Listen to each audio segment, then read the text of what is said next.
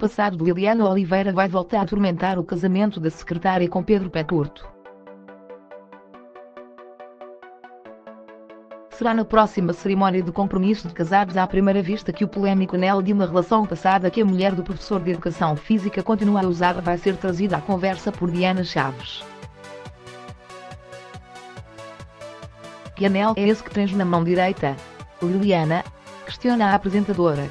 Tal como mostram as imagens promocionais da emissão deste domingo, 8 de dezembro, da experiência social da SIG. A joia em questão, Liliana mantém na mão direita mesmo tendo contraído o matrimónio. Entretanto, com Pedro, vai merecer comentários dos colegas do casal. Quem olha para o anel diz assim: então tens um namorado e tens um marido. Atira. Por exemplo, Inês. Também em depoimento, Liliana não contém a fúria e acaba por se enervar como realçado ao assunto. Isto é uma aliança, é do passado, está aqui e vai continuar.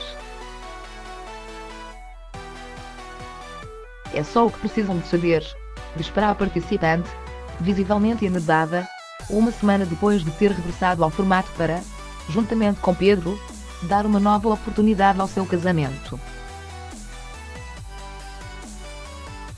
Fantasmas atormentam o casamento desde o primeiro dia. Os fantasmas do passado de Liliana nunca foram necessariamente escondidos pela concorrente de casados à primeira vista. Vale a pena lembrar que a secretária usou o anel em questão no dia em que se casou com Pedro e que este mesmo facto mereceu, logo ali, uma troca de palavras entre Liliana e uma amiga. Mais tarde, já a transmissão do programa da SIC adiantada, o homem que ofereceu esta aliança a Liliana, de seu nome Mário Gonçalves, pronunciou-se sobre o caso.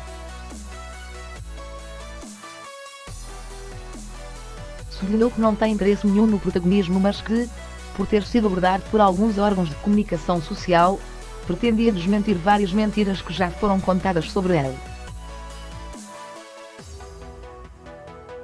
Sou o ex-namorado da Liliana, o ex que foi falado no casamento e do qual a noiva manteve um anel no dedo quando se casou, começou por dizer. E acrescentou, quero esclarecer que, apesar de ter mantido uma amizade com a Liliana por largos meses, essa amizade terminou e não mantém qualquer tipo de contacto com a própria. Absolutamente nenhum, nem pretendo reaver essa amizade.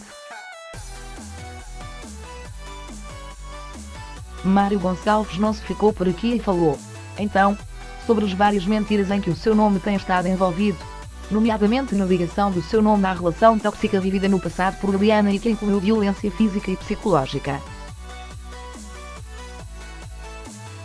Leio tudo aqui.